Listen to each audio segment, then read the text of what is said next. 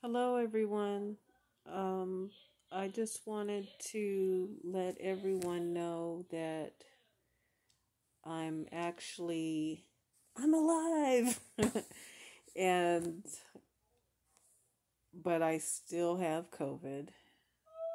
But I can always get one of these from somewhere like Amazon. This is actually a um, a, a COVID test, so you can get them just like a pregnancy test, and you put a few drops in there after you swab it a couple of times in each nostril, kind of go up, you know, really good, and then you put it in a container that's found in there like this, and then you put the top on it like this, and then you pour the drops.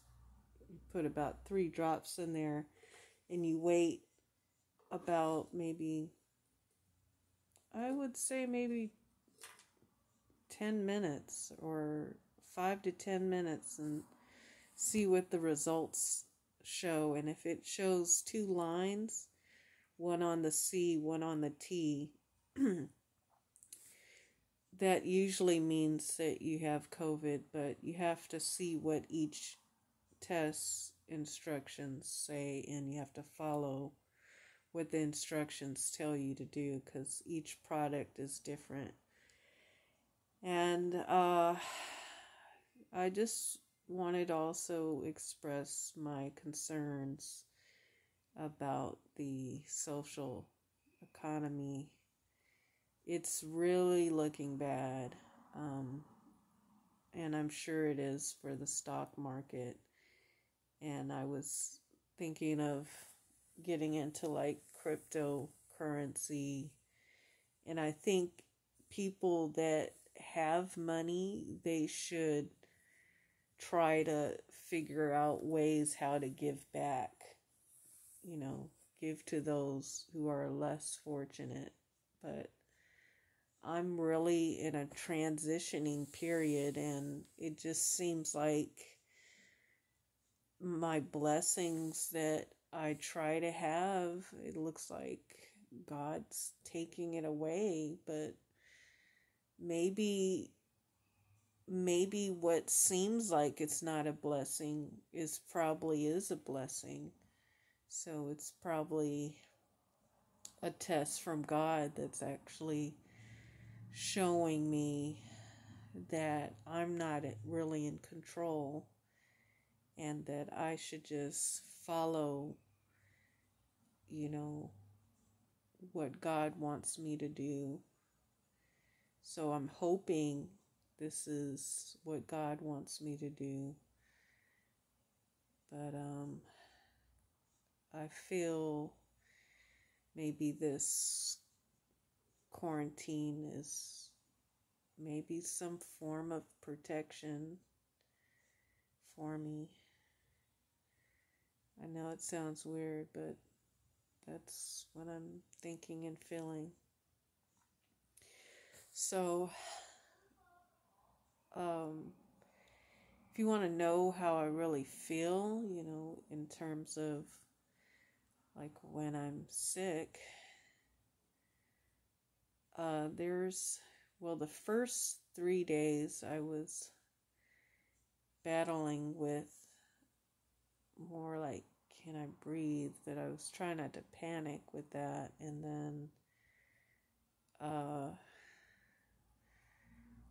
you know, and then I just recently just started using Vicks on my nostrils to, kind of get a more open passage on my nose. I mean, from my nose. Um, what else can I tell you?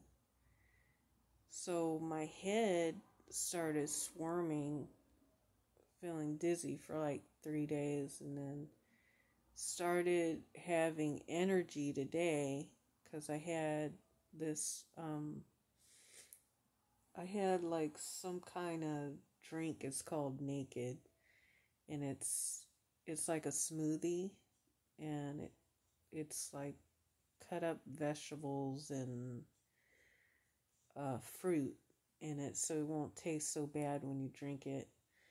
So I drank that this morning, and actually, I haven't been able to eat really well, but considerably, if I have a taste for something like lobster or what have you, I will eat it, and that's what's actually helping me to eat. But actually, I stopped really ordering really solid foods because I start feeling like um, I start feeling like I can't eat it. And so I've been fasting and drinking uh, liquids.